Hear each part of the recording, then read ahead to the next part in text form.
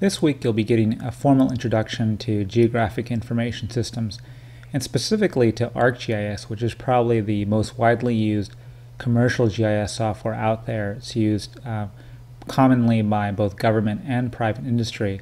And unfortunately, it's not free like the other applications we've been working, but we do have access to it in the Digital Geography Laboratory in Meier Hall 325. So I'm going to walk you through an introduction to ArcGIS and some of the things I'll be showing you are going to be a little bit different when you're working on the computers in the DGL, but I'll, I'll point that out. So first off, uh, to start up ArcGIS in the DGL, you'll be going to the Start menu and looking for a folder called uh, Advanced DGL Applications or something to that effect. And within there, there should be a folder uh, called ArcGIS. And within that folder, there will be a particular application that we're going to focus on called ArcMap and you'll be working on version 10.2 which is the latest version available. Um, I have 10.1 right here but there's no appreciable difference. So you'll start that program up and it might take a little uh, a minute to start uh, but when it does what you'll see is uh, a uh, new document window will pop up and it'll ask if you want to start with a blank map or some other template. For the moment we're not going to worry about that because we're not making maps quite yet. So we'll cancel that and then we'll see the main window for ArcMap, which is one of the components of the ArcGIS software suite. So what we have here in the window is our two basic areas. One is a table of contents area, and that's where you're going to see the list of GIS layers that we're going to work with.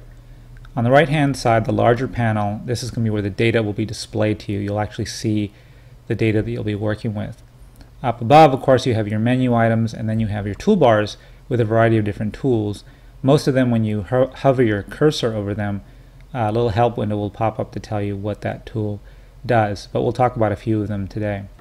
Um, over here on the far right is a tab called Catalog, and when you just hover your cursor over that Catalog tab, it'll open up and show you this um, uh, catalog tree that kind of looks like your file management system when you're in Windows Explorer. Um, this is important because we're going to use this to manipulate our data and to get access to it.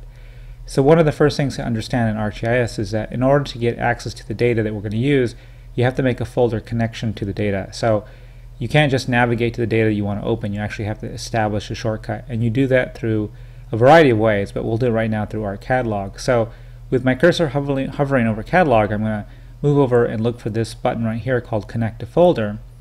Uh, it looks like a little folder with a dark plus sign on top. When I click on that, it'll give me the opportunity to connect to the folder that contains the data that I want to look at. So on my computer, I'm going to navigate to the folder that I've set up ahead of time in my uh, Dropbox folder right here. And I'm specifically looking for the USA folder that contains the data uh, that we'll be using for the exercises in Chapter 5 and, and later. On the DGL computers, that folder, the USA folder with all the data you need, is going to be on one of the network drives, which means it'll be on one of the drives that are V, X, or W, something like that. Uh, and I'll send out a separate notice to let you know exactly where to find that data. But if you get lost and you can't find it while you're in there, you can always ask one of the lab techs who can help you find that particular folder. So once I find the folder I want, I select it and then I hit OK and that's it. It establishes a connection. I go back to look at catalog and I have a lot of other connections in here obviously. The one we're interested in is the one I just established, this one, and it shows you the full path to that data that's in that folder I just created. You can see that right here. And while that folder is highlighted in blue, I can see the contents of that folder. And you can see within there there are a variety of files uh, that are there, um, probably about 15 in there and most of them are GIS files that we're gonna uh, we, that we could work with. But I just want to point something out really quickly.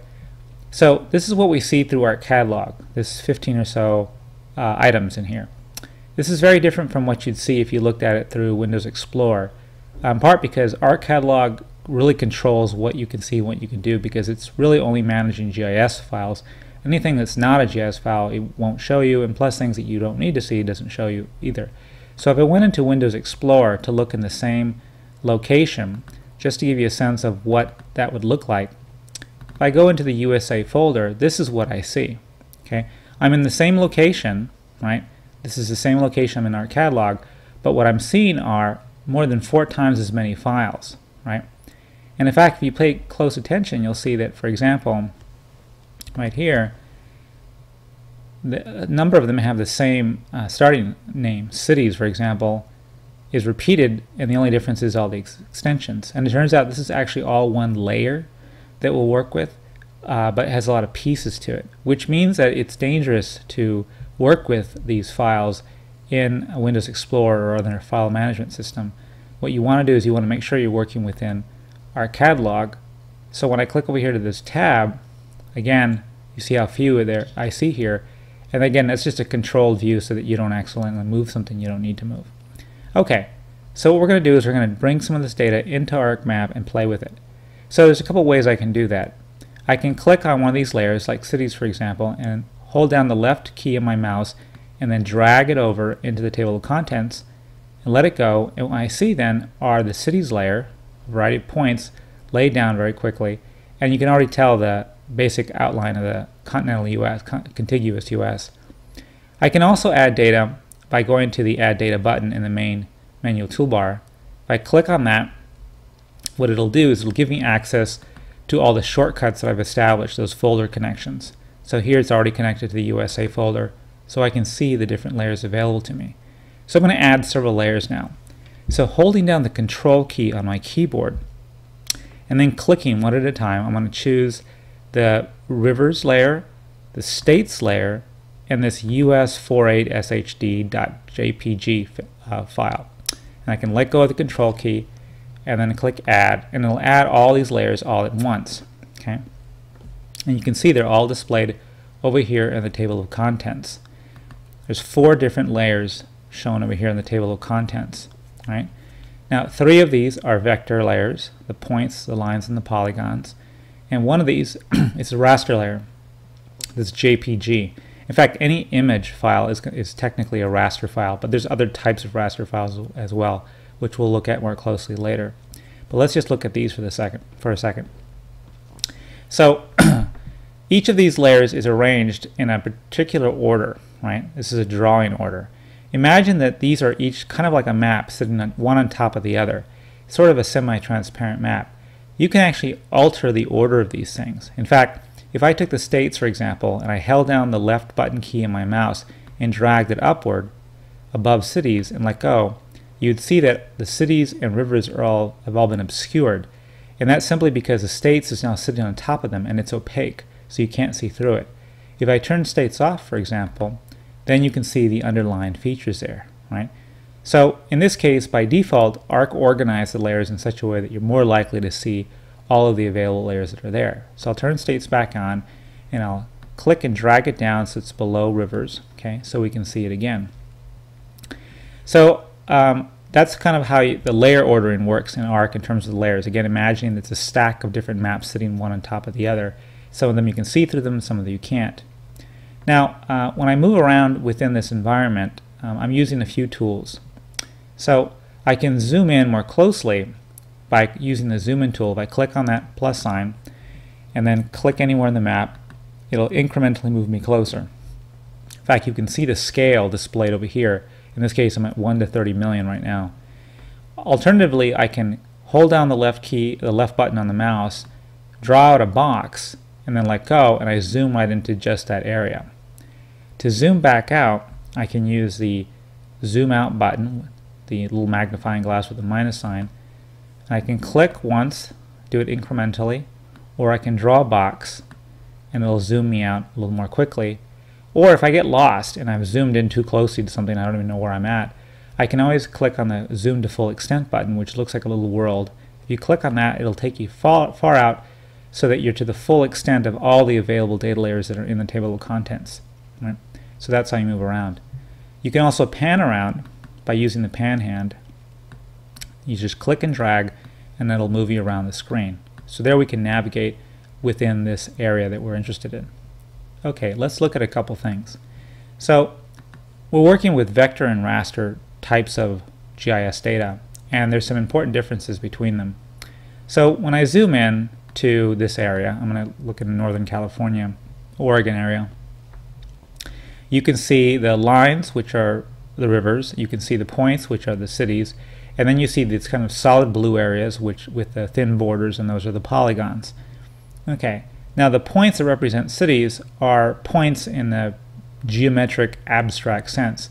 You can zoom into them, get closer, but you'll notice that no matter how close you get, they stay the same size. I'm zooming in repeatedly. In fact, you can check my scale changing as I zoom in, and they don't get any smaller. And the reason is that the point is just an abstraction. All the point really represents is a position or a location. The, the representation doesn't allow you to measure anything because again it's a Cartesian point. It has no width or length. It just has location. Again just an abstraction just for the for the purposes of, of, of representation in a GIS I'm going to zoom back out here. Lines work the same way. So any one of these rivers if I zoom into it I can clearly see that it has length it obviously has position too right it's located somewhere in space but if I zoom in very closely to the line no matter how close I get, the line won't get any thicker, right? Because it's a true line in a Cartesian sense. It has length and has position, but it doesn't have width. At least not a measurable width that's represented here. In reality, it would, of course. All rivers have width. But again, just an abstract representation for the purposes of illustration within a GIS environment. Finally, we have our polygons, and I'll zoom into Nevada here. And Nevada contains this outer boundary, okay? And Nevada has length or width, however you want to define that. It has area, it has a perimeter, right, the length all around there. It has an inside and an outside, right? Um, so it has a few, it has a, a more dimensions than points or lines, but it's still two-dimensional, right, because it's essentially treated it as if it's flat. So there we go. Now the thing about these uh, uh, vector types of representations of GIS data is that they're kind of like stick figure representations of the world. If you can imagine how you would draw things in simple lines and simple geometry, okay? And they exist as whole entities. So you have an individual point, an individual line, it's like one thing, and you have an individual polygon representing an individual feature. This is very different from raster. And so I'm going to drag up this uh, US 48 SHD raster up top so it's given prominence. And what we see here is, let me zoom in so you can see this a little better, is a topographic representation of the contiguous US, right? And so you can see a little bit of topography, particularly in the west, right? You can see the mountain chains and the valleys, right? Um, but as we zoom in closer, what you'll notice is it begins to look pixelated, right? It looks kind of blocky. And that's exactly because it is. The fact the closer you get, the more you can see what it's made up of. In fact, this is what rasters are made up of. It's essentially a grid of cells. Each one of these boxes is one cell in this overall grid, and each cell contains a single value. The value could either be a brightness color or it could actually be some kind of information, but it's just going to be a number of some sort. In this particular instance, what we have essentially is uh, an image that's meant really for us to interpret with our eyes. So the the meaning of the individual cells is so important rather the pattern that they form overall is what's important. So what, what's going on here is that we have this grid of cells which create a pattern which our eyes can recognize as being supposed to be the topography of the US and that's the, that's the purpose of it. But there you go is a very different um, kind of form of, of showing you data compared to the vector data right? So the raster data in this case is to show you a pattern whereas the vector data showed you individual features. Okay, so that's vector and raster. Let me turn off the raster for the moment. We're not going to use it uh, for this example.